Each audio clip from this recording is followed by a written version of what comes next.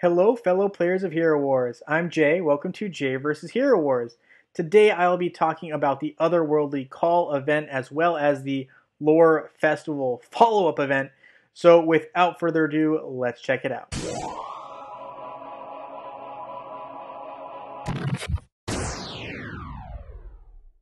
Alright, guys, so here we are in game. We've got Secrets of Outland bundles popping up for us bunch of skinstone chests. We have another one day event, and it seems that Lore Rush, right, which is our main event here, popping up, uh, which is just in tune with Lore Festival. I did mention that if you place high early in the rank, you do get different avatars. It seems you also get quiz tickets, Master of History, earning points gets you rewards, and it looks like uh, we got some decent ones here. Chaos Particles, as well as Elemental Tournament certificates and energy, as well as more quiz tickets. A welcome guest logging in during this event, which I guess it's a six day event, which is interesting. So it starts one day after Lore Festival kicked off. Lord of the Storm, so this is VIP. You need to have spent money to have VIP, and uh, up to seven. So you get one Elemental Tournament certificate per VIP.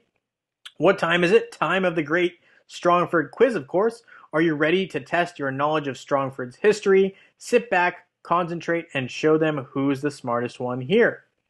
So, as I was mentioning, we also have a one day event. This is going to be the theme, I guess. It seems like there's going to be a lot of one day events throughout this lore festival and lore rush. Surprising, but that's what I've been told so far. For a brief moment, the other worlds have unveiled their secrets and rarities do you have the stubbornness and determination to earn all of their cosmic treasures? Dare to try, and it'll all work out. We have welcome guest, three of these otherworldly dolls as our prize. The Brave Avenger opening chests in Outland. 55 chests. You need to use emeralds to do that, especially during a one day event. But that is the Lore Rush event as well as the Otherworldly Call event. So looks like we've got a couple more things to look forward to.